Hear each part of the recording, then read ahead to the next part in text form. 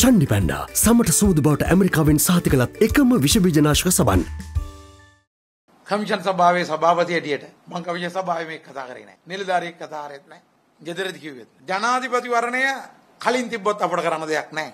හැබැයි නොවැම්බර් මාසේ 9 වෙනිදායි දෙසැම්බර් 9යි අතර ජනාධිපතිවරණය තියන්න කන් මේ ඡන්ද විමසීම තිබ්බේ නැත්තම් මං ඉල්ලාස් වෙනවා. ඒකට විරෝධය දැක්වීමක් හැටියට. පළාත් සභා ඡන්දය තියාගන්න ඡන්ද විමසීම තියාගන්න බැරි වුණොත් ඔක්තෝම්බර් නොවැම්බර් මාසේ 10 වෙනිදාට කලින් මහා මැතිවරණ කොමිෂන් සභාවේ සභාපති දුරෙන් ඉල්ලාස් වෙනවා. කමිෂන් සභාවේ ඉන්නවා.